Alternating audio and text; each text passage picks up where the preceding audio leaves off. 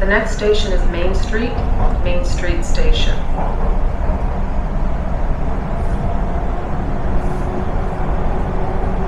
Hey folks, Jerome Forestwood here. It is 4.15 p.m. on September 14th, 2021, on the east side of the Don River, in the East Danforth of Toronto, Ontario, Canada. It's 22 degrees outside and a partly cloudy afternoon in the city. In this video, I walked for 1.7 kilometers, starting in the Danforth Village at Main Street Station and trekked south on Main Street through the upper beaches, crossing Kingston Road and continuing south through the beaches on Southwood Drive, ending my walk at the TTC bus stop at Southwoods and Glen Ames. At the time of this recording, due to the COVID-19 pandemic, Ontario was in phase three of its reopening plan, so indoor dining, shopping, and socially distanced large events were permitted. If you enjoyed this video, please smash that like button, share it, and subscribe. Arriving at Main Street, Main Street Station.